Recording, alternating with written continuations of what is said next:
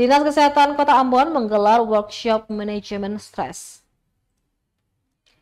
Pemerintah Kota Ambon melalui Dinas Kesehatan menggelar workshop manajemen stres. Kegiatan yang berlangsung di ruang pertemuan Hotel Elizabeth, Kecamatan Sirimau, Kota Ambon itu ditujukan kepada pengelola program kesehatan jiwa dan petugas promosi kesehatan.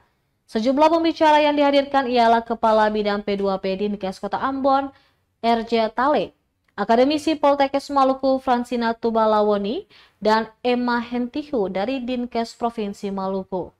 Kepala Dinas Kesehatan Kota Ambon, Dr. Gigi Wendy Pelupesi mengungkapkan bahwa pelaksanaan kegiatan ini merupakan implementasi dari hasil Rakernas 2024 serta arahan Menteri Kesehatan Republik Indonesia Buni, Budi Gunarti Sadikin agar kesehatan mental masuk dalam program prioritas. Menurutnya saat ini makin banyak orang yang mengalami stres akibat masalah ekonomi dan sebagainya.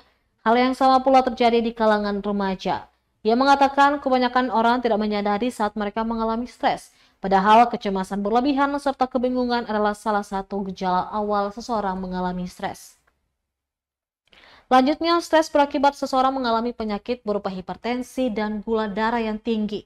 Polpesi mengakui belakangan ini banyak pemberitaan terkait kasus bunuh diri di kota Ambon, yang mana mayoritas korbannya ialah anak muda. Selain itu, menurutnya penyebab penyakit akibat makanan hanya berkisar 30%. Sebagai Kepala Dinas Kesehatan Kota Ambon, dia berharap melalui workshop ini para peserta mampu mengelola stres dan mampu mengedukasi masyarakat terkait kesehatan mental remaja di sekolah-sekolah dan hari ini dengan petugas pemegang program sehingga petugas sendiri bisa mengetahui yang dimaksud dengan stres dan sebagainya dan bisa mengelola baik untuk diri sendiri dan bisa disampaikan juga kepada masyarakat.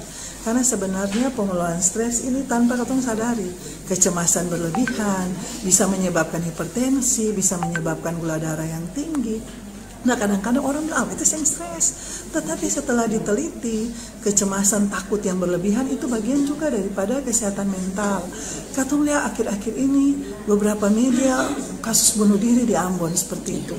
Bunuh diri di pada remaja uh, apa uh, orang-orang muda yang memang masih uh, apa berpotensi kemudian dengan uh, apa namanya tingkat aktivitas yang tinggi. Kenapa kok mereka bisa bunuh diri seperti itu?